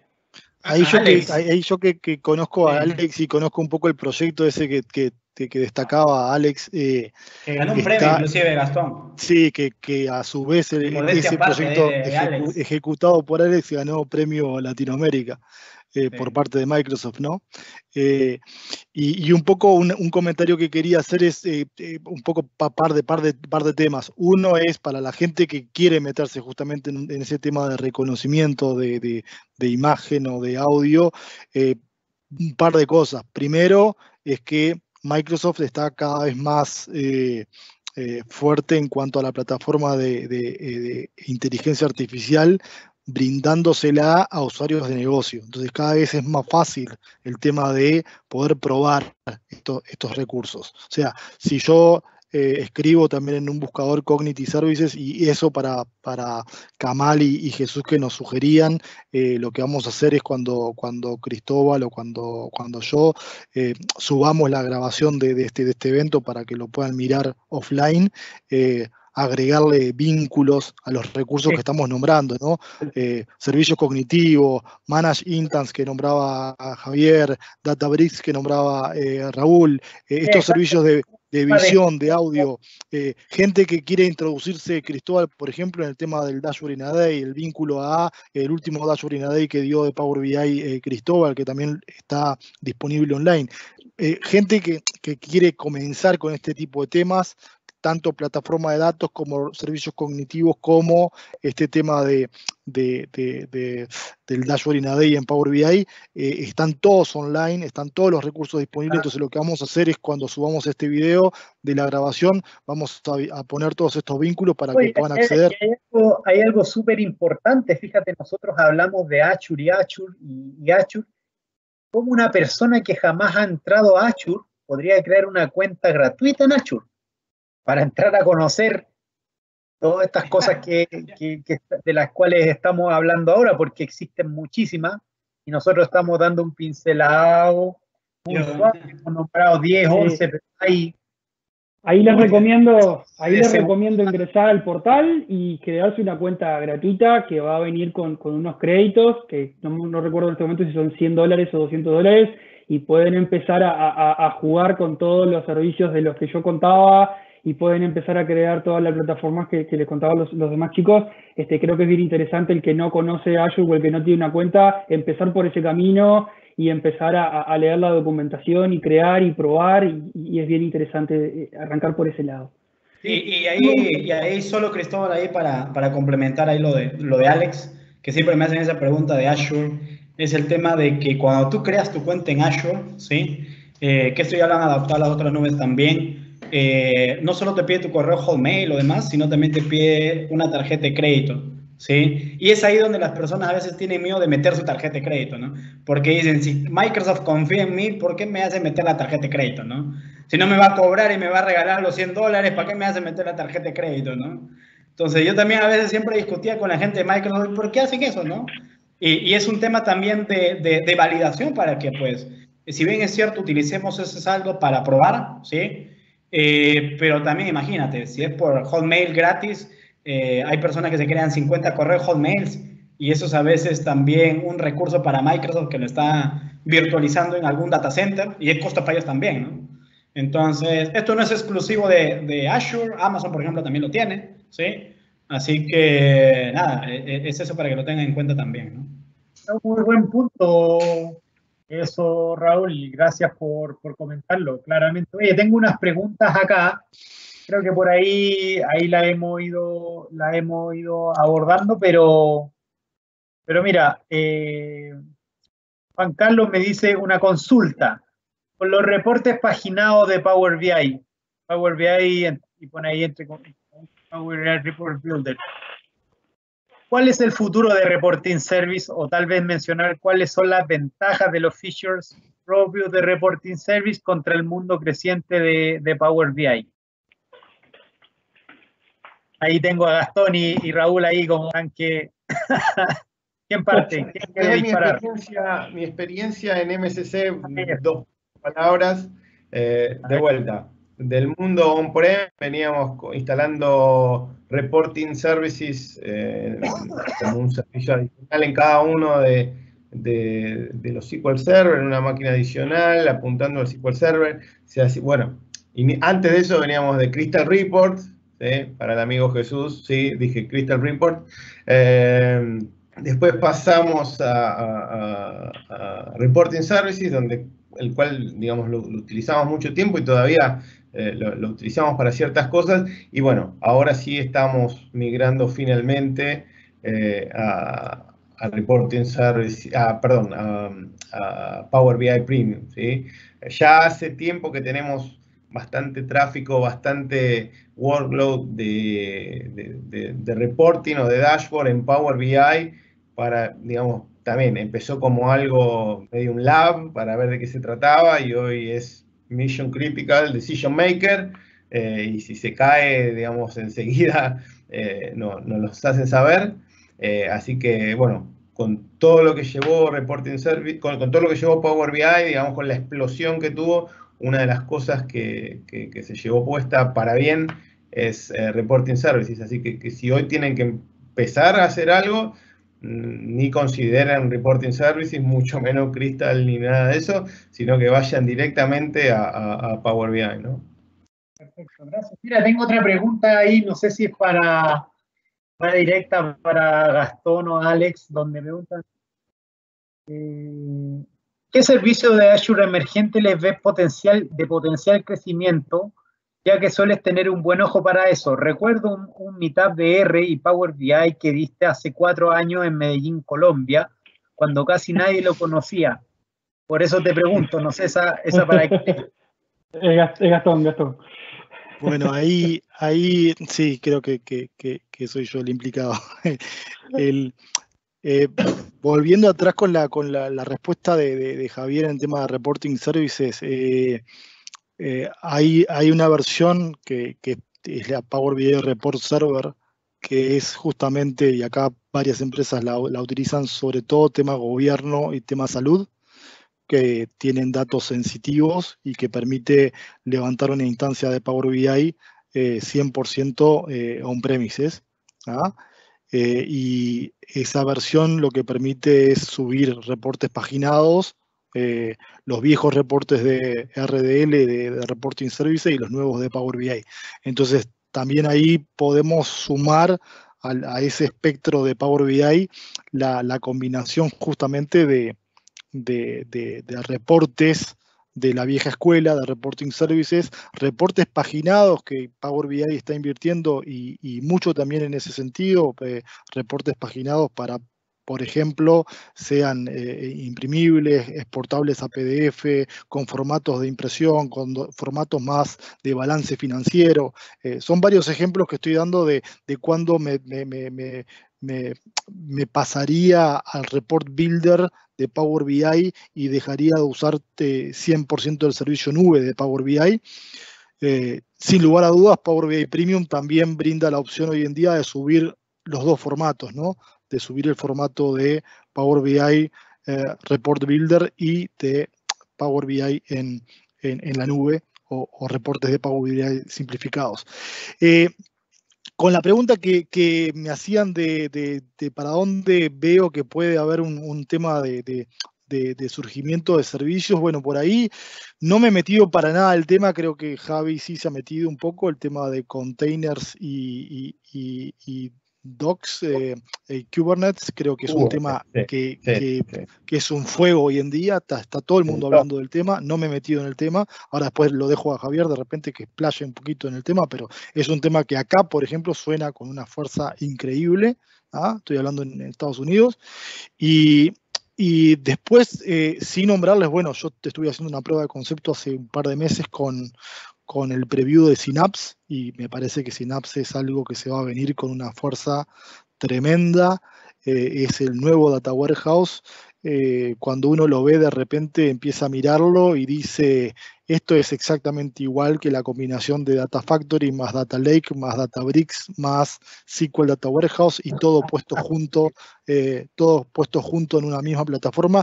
Y es eso pero la parte, el área de Data Warehouse en el backend eh, tiene una fuerza increíble, lo que es eh, las vistas materializadas, le brindan una performance al sistema que es, tremenda y, el, cache y el performance que, se logra en Synapse es, tremendo. Entonces creo que va a dar bastante que hablar en los próximos meses cuando, se lance eh, esa versión de, de Public Preview de, Synapse. Eh, te, dejo a vos, Javi, que comentes un poco si qué incursión has, hecho con, con, containers y con ese mundo y qué te ha parecido. Bueno, yo me empecé a relacionar un poco con containers, eh, no los containers de MSC, que ya hace 14 años los tarritos, ¿dónde están los tarritos? Les dicen en el... eh, bueno, ahí lo estoy con SQL Server 2017, ¿no? Cuando, bueno, primero fue portado de, Windows a Linux y después a containers. a ver qué son estos containers. Y ahí me volví loco, ¿no?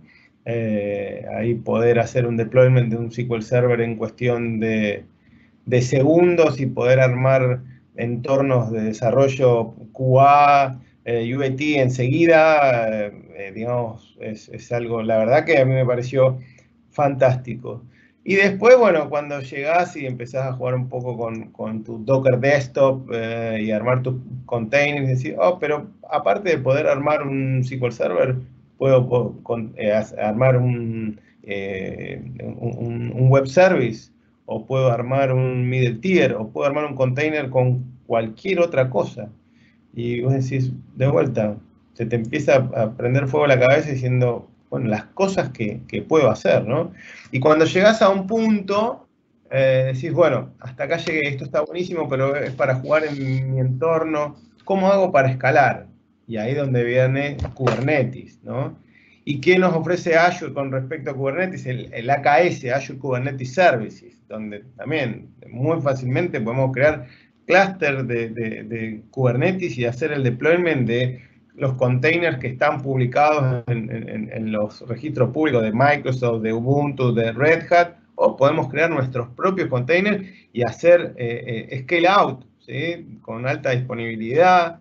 Eh, la verdad que, de vuelta, no solo para lo que es Data Platform, sino para lo que es infraestructura, digamos, como primera capa para que los demás servicios se monten sobre eso. AKS, Azure Kubernetes Services, definitivamente es algo que no es, que, no, es nuevo, sino que es, hoy, es, ya. ¿sí? Así que containers y, Kubernetes para mí es eh, lo más hot. De vuelta, no cruza solo Data Platform, sino que cruza todos los servicios de, Azure.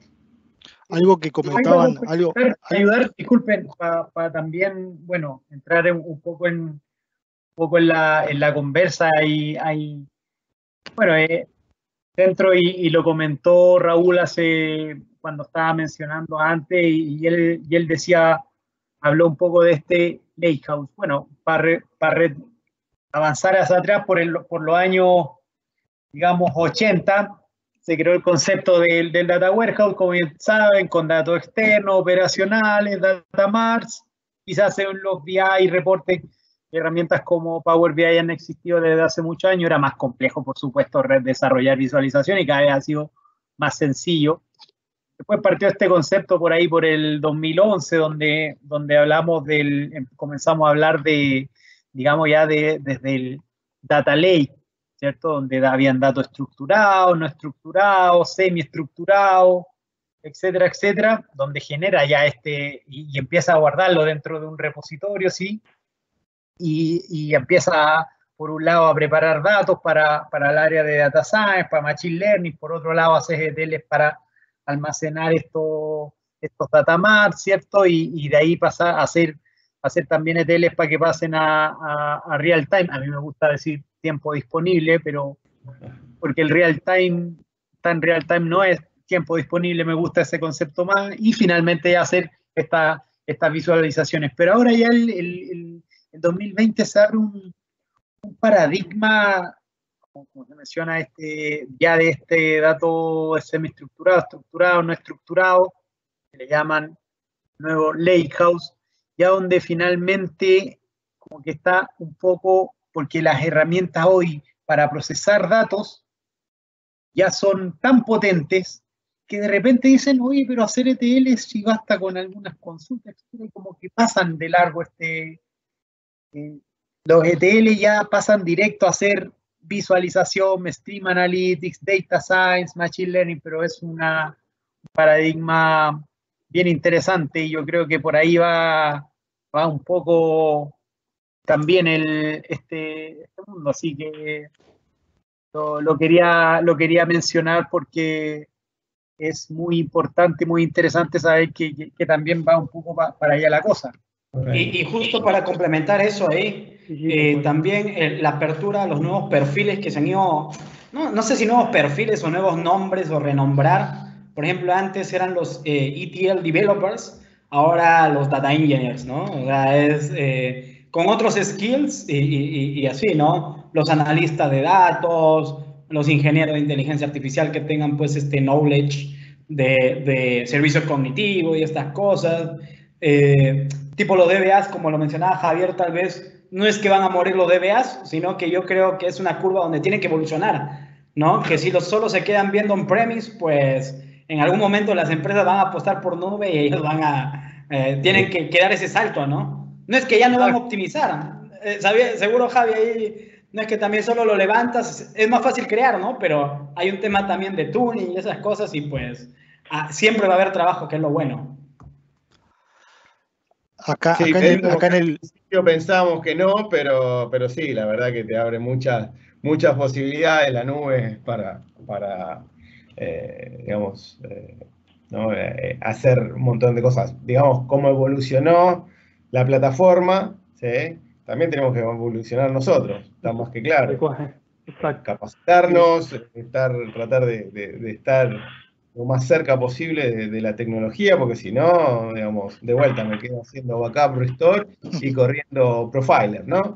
Eh, así que, no, esa es una pregunta que, generalmente cuando hablo de los temas de Managed Instance o de Azure SQL DB, donde hay, digamos, sobre todo Azure SQL DB tiene una, una función muy interesante que es de autotuning, ¿viste? Los, los dicen, ¿y ahora eh, qué vamos a hacer nosotros? No se preocupen, muchachos, que, que la verdad que eh, hay mucho, pero de vuelta, hay que evolucionar, ¿no? DBA 4.0, ¿sí?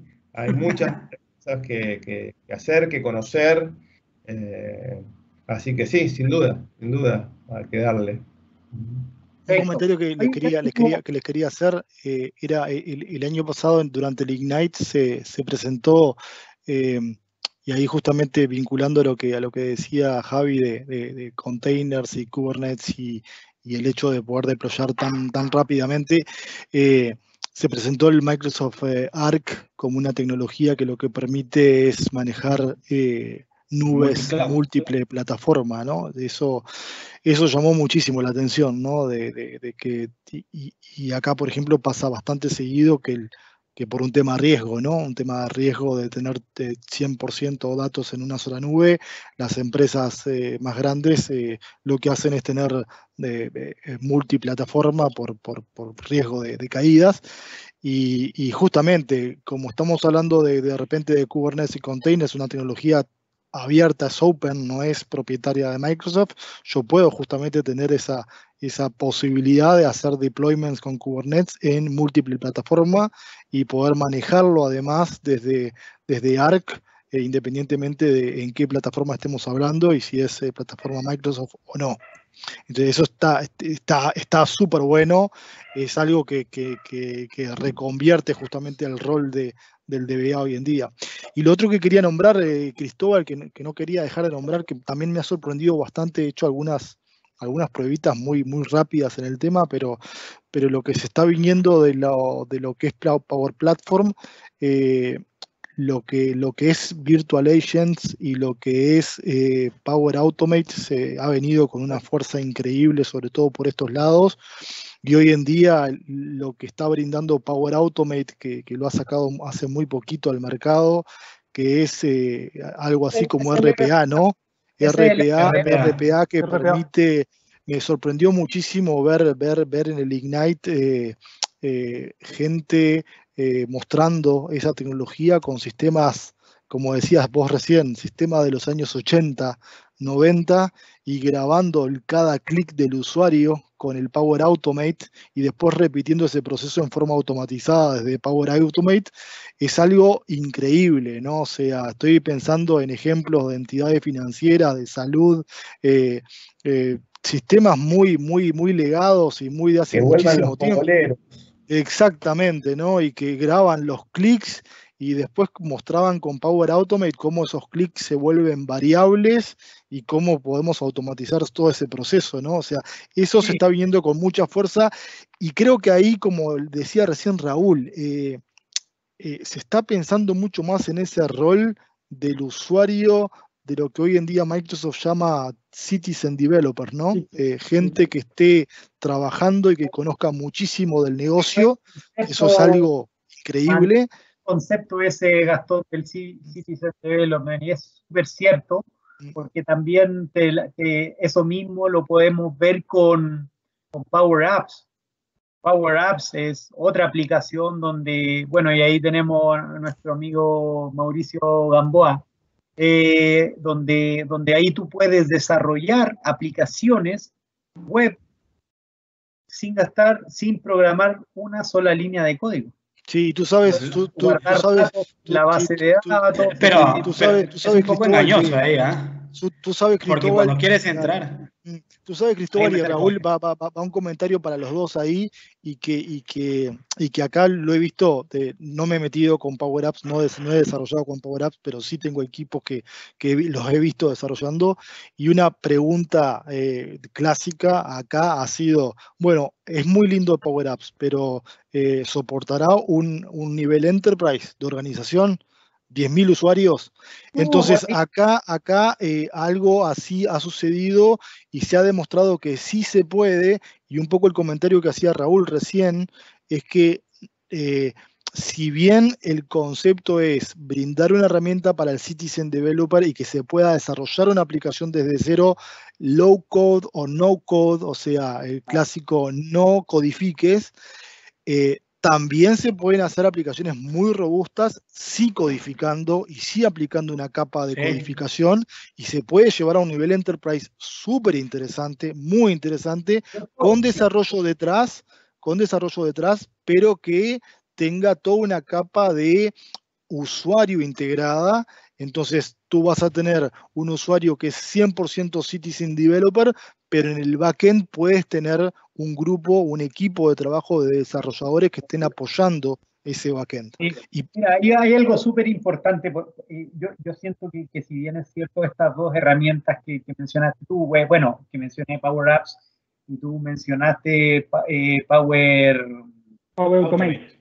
Power Automate, son dos herramientas que están apareciendo ahora hace muy poquito. Recordemos que también Power BI en sus primeras apariciones no era el visualizador top en el, en el mercado, partió bastante básico. Eh, lo que me gustó mucho y la evolución que, que, tuvo Power BI fue la de, de tener esto de, de, abrirlo hacia la comunidad y decir, oye, comunidad, dime qué necesitas tú y los más votados yo te los voy a, te los voy a iniciar y los fueron incorporando. Eso lo encontré maravilloso porque al final es la comunidad, son los propios usuarios que han hecho crecer con o sea, eh, Power, BI ha crecido con las comunidades.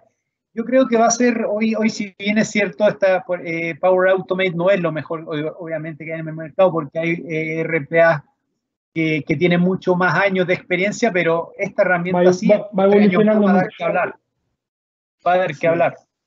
Sí, creo que, creo que por ahí, hay un poco la, pregunta que, que, me, que me hacían de, de, eh, servicios que veíamos que, podían eh, ser emergentes.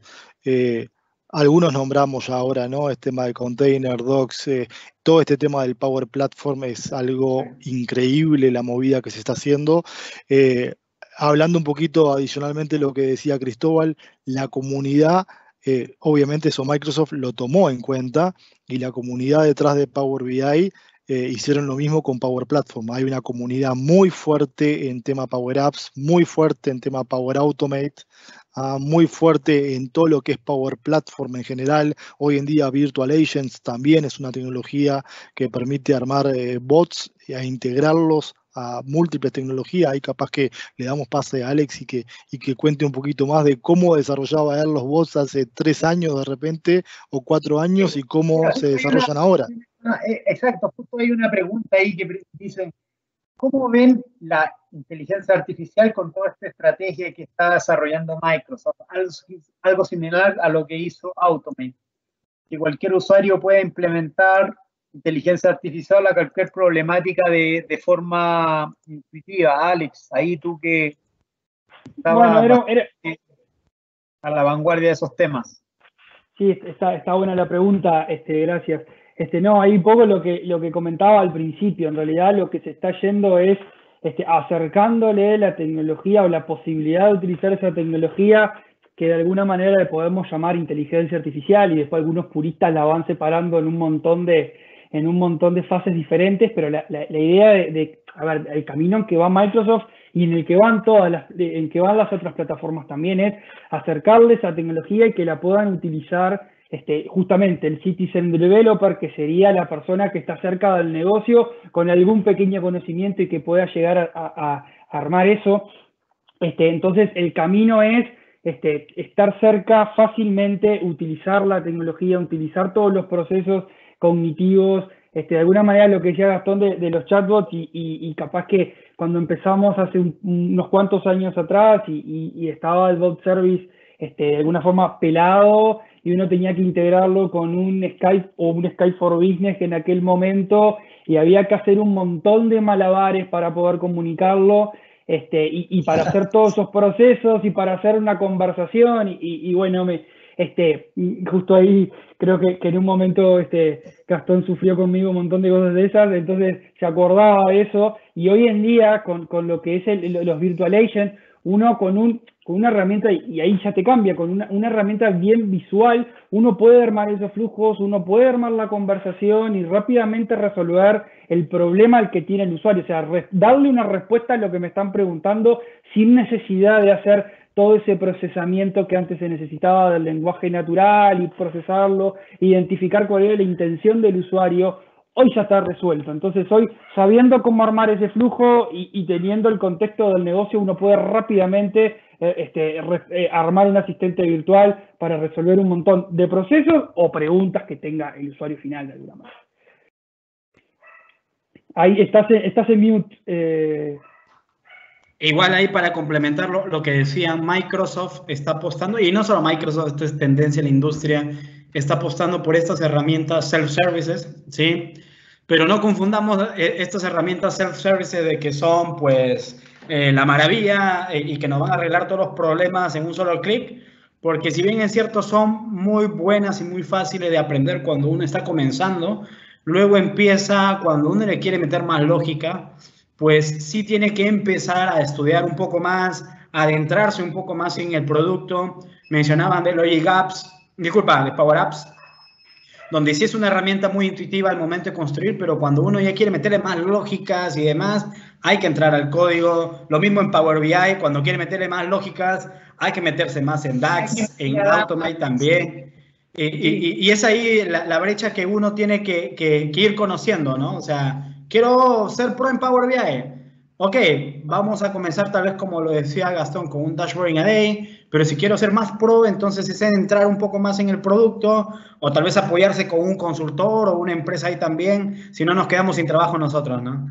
Así que nada, eh, eso es, eh, el, el, querer adentrarse es muy, muy fácil ahora, inclusive para complementar, eh, ahora en el tema de modelos predictivos, por ejemplo Microsoft y, y hay otras herramientas también, que es el Automate Machine Learning, donde tú, por ejemplo, lo que haces, eh, mandas el modelo y te manda 50 algoritmos árbol de decisión, los boosting y todo, y te dice, ya, este es el mejor modelo para tu data.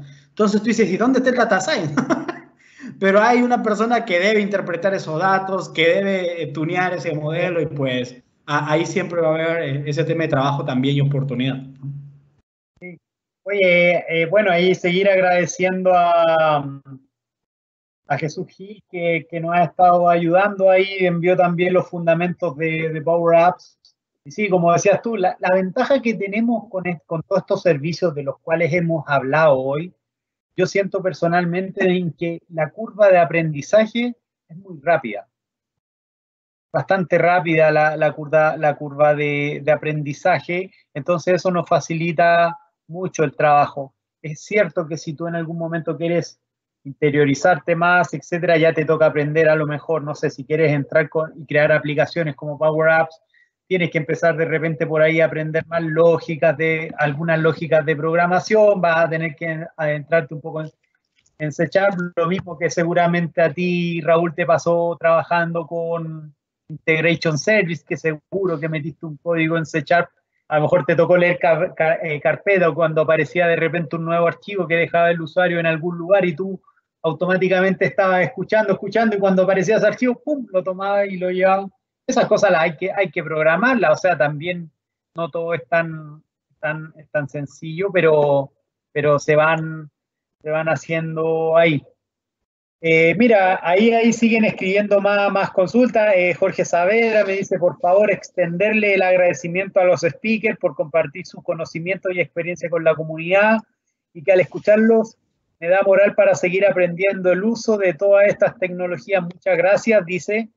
Ese es Jorge Saavedra. Bueno, a uno también, eso es lo que yo creo que buscamos ahí cuando cuando eh, conversamos, Gastón propuso este, este tema y lo, lo tengo en, pantalla y nos dijo, oye Cristóbal, siento que hay que hacer algo, tenemos que, tenemos que, que, partir e iniciarnos con algo y empezar a estar esta charla. Y bueno, le dije, dale, hagámoslo. Y estas son las cosas que creo yo personalmente que, en parte también y te dan, te dan la ganas de seguir a uno mismo, poder compartir sus conocimientos cuando las personas que están allá, yo también estuve detrás, también en su momento estuve escuchando muchos podcasts, estuve entrando en comunidades, también estuve del otro lado y, eso me, me ayudó para empezar a conocer y etcétera, etcétera. Así que dale, dale la gracia a ustedes también. No sé qué opinas ahí, Gastón.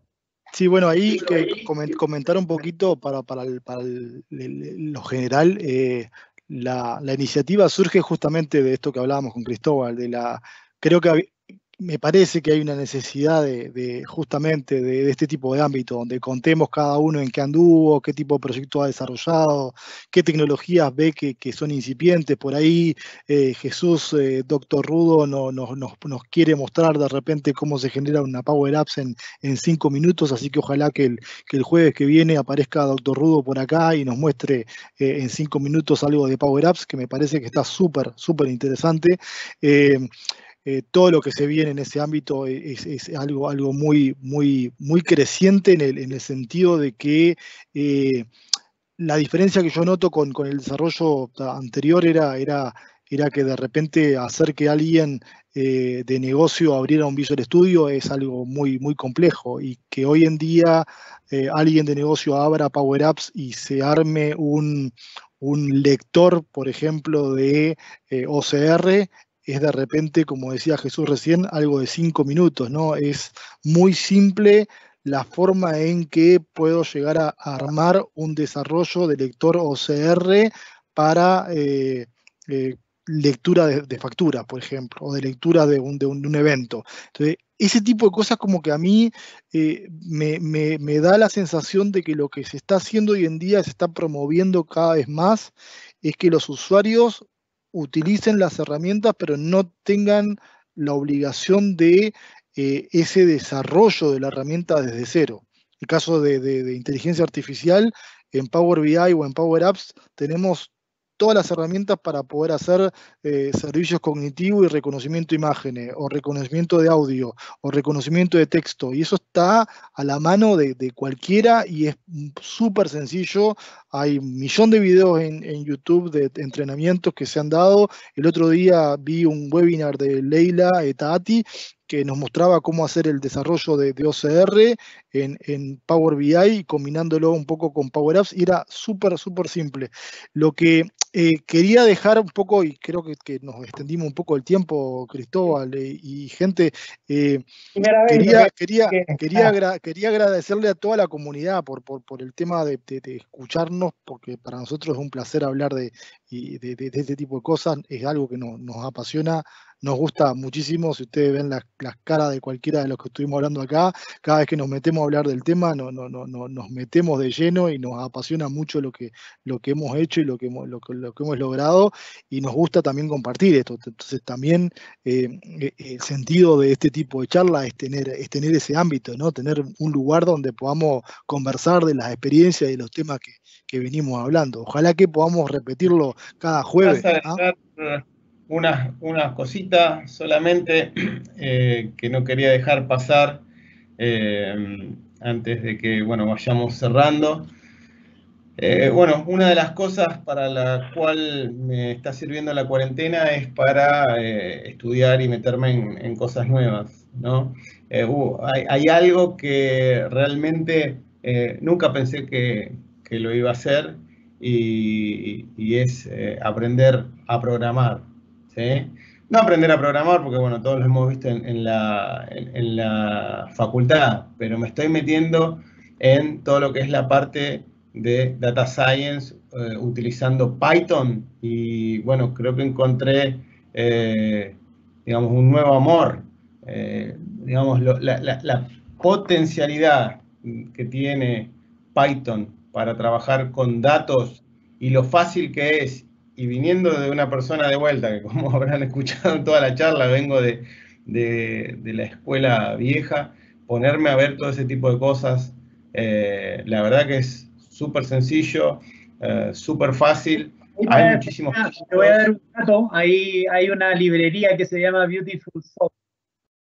Maravilloso para trabajar con datos. Les dejo estoy, estoy integrando integrando Azure Databricks con, con Manage Instance, utilizando Python, y bueno, estoy extasiado básicamente, ¿no?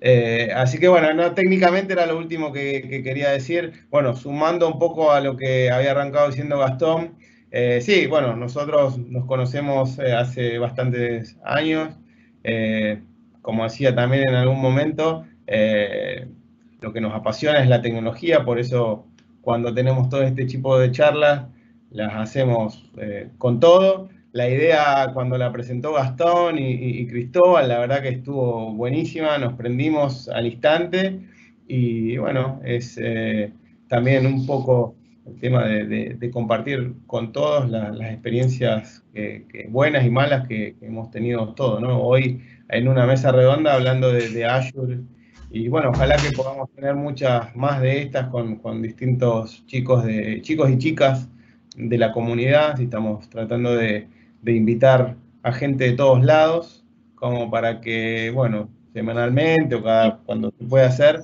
poder eh, meter gente eh, que realmente esté apasionada por lo que hace y, compartirlo con, todos nosotros, ¿no? Esa es la idea. Sí.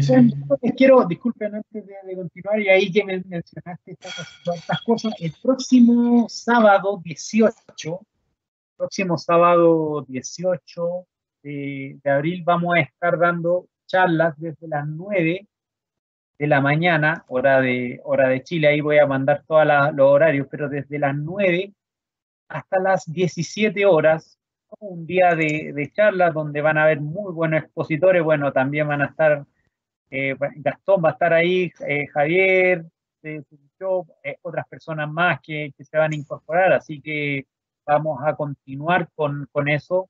Les voy a dejar el link también para las personas que están viendo que se puedan sumar porque, porque vamos a continuar con esto, vamos a, a estar eh, haciendo, haciendo este, este tipo de cosas, no queremos, no queremos parar. Mira, un poco lo, dentro de, los speakers van a haber van a haber charlas de Dataflow con no, no SQL, que va a estar ahí Walter, Walter hablando, de paso le, le envío un saludo, van a estar hablando de, templates para, para, inteligencia artificial, van a estar eh, hablando de, robotización con inteligencia artificial, bueno, lo nuevo de, del SQL de 2019 va a estar eh, Javier Villegas, Néstor va a estar hablando cómo implementar un bot para, para ayudar con el COVID.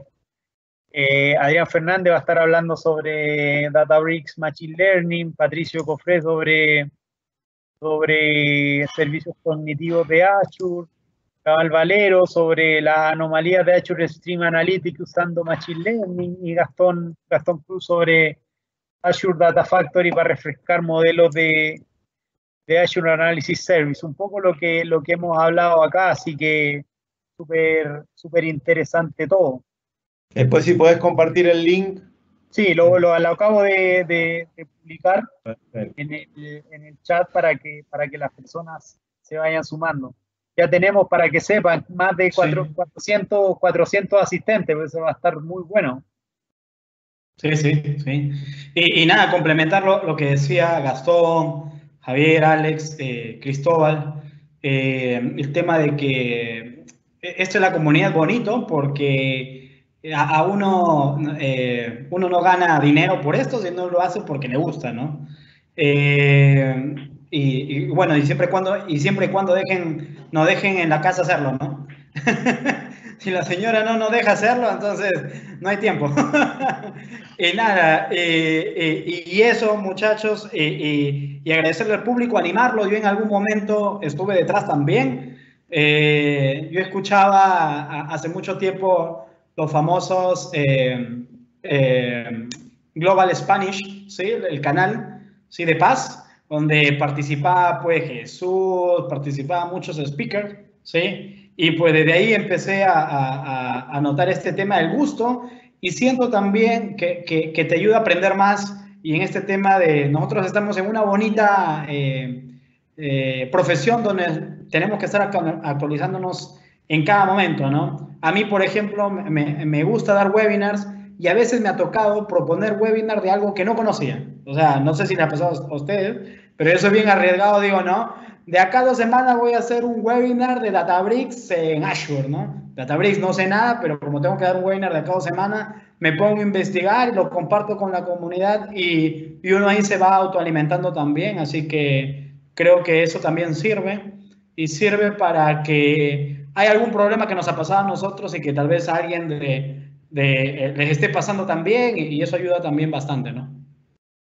Bueno, ahí Alex también le damos el paso a, a Alex. Excelente.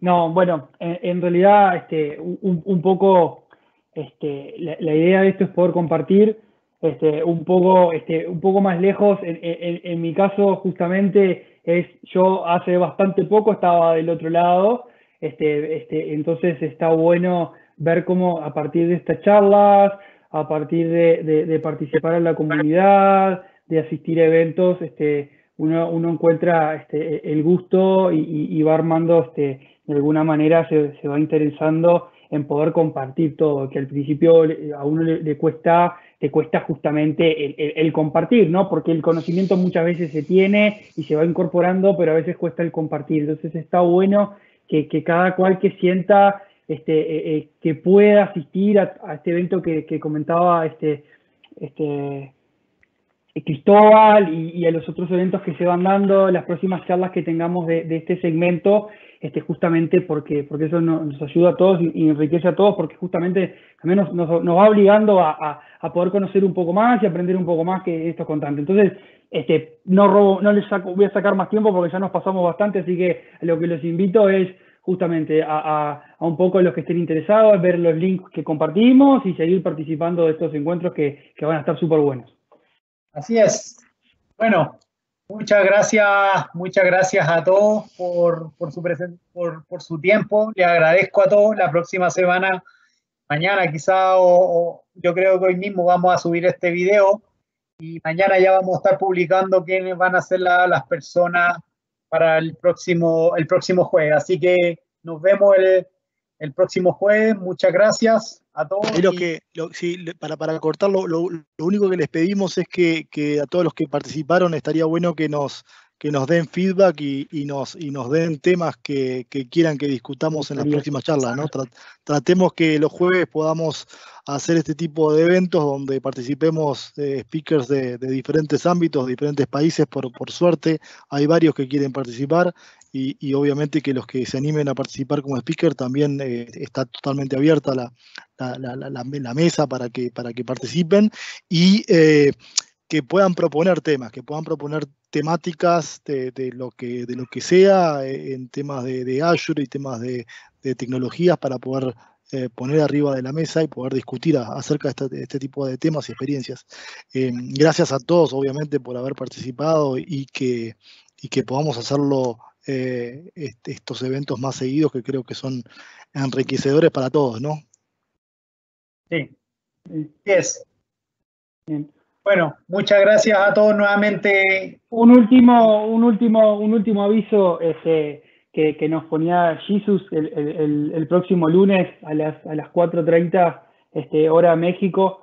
Va a haber un, un, un, webinar sobre todo los que estén interesados en lo que es este Power Platform y con Power App, Power Automate y Power BI. Este, va a estar súper interesante, así que, que ahí la, la invitación la, la extiendo de parte de Jesus. Qué buen tema, Jesús. Bueno, muchas gracias nuevamente. Nos vemos el próximo jueves. Fue un gusto. Bye, bye. Hasta luego. Hasta luego. Abrazo a todos. Stay safe. Nos vemos.